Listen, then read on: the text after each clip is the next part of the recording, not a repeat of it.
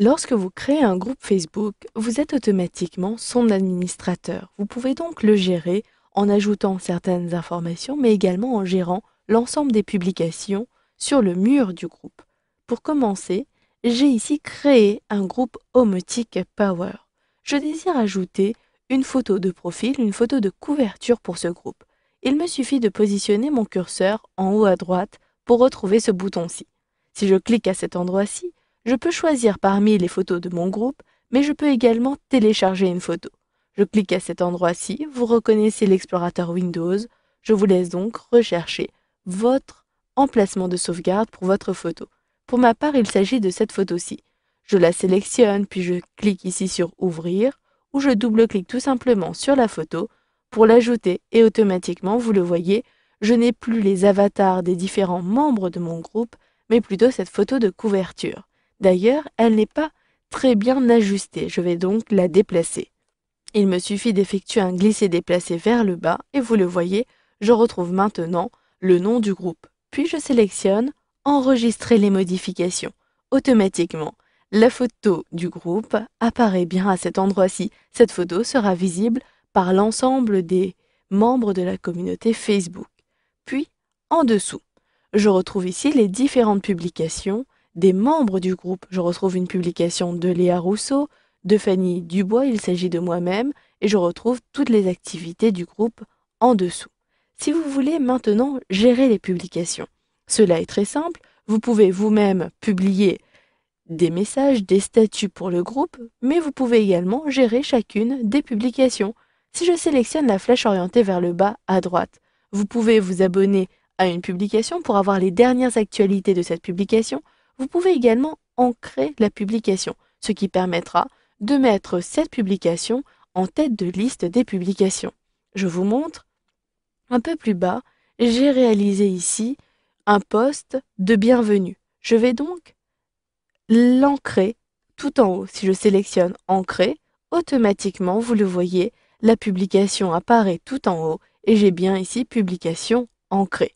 Pour les autres publications, vous pouvez en plus de cela supprimer la publication. Si le contenu n'est pas adéquat en fonction de votre groupe, vous pouvez très bien supprimer la publication. Et vous pouvez également supprimer la publication et retirer l'utilisateur du groupe.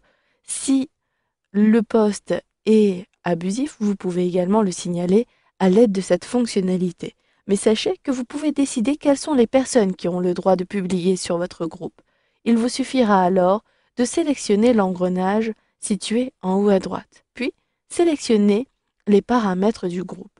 Vous avez plusieurs possibilités. Vous pouvez décider que uniquement les administrateurs peuvent publier dans votre groupe, mais si vous voulez permettre à l'ensemble des membres de publier, mais vous voulez gérer chacune des publications, il suffira alors de sélectionner Approbation des publications, puis sélectionner Enregistrer. Maintenant, Dès qu'une personne va publier sur le mur de votre groupe, vous allez devoir approuver le contenu en tant qu'administrateur. Il vous suffira de sélectionner la coche pour approuver et la croix pour supprimer la publication. Je retourne ici sur Homotic Power, le mur de ce groupe. Vous pouvez en plus de cela communiquer avec les différents membres sans passer par le mur. Vous pouvez effectivement, depuis l'engrenage qui apparaît en haut à droite, sélectionner ici Envoyer un message. Lorsque je sélectionne Envoyer un message, je retrouve l'ensemble des membres qui apparaissent ici et il s'agit en réalité de communiquer avec les membres par conversation, par discussion instantanée. La discussion instantanée et la messagerie instantanée de Facebook.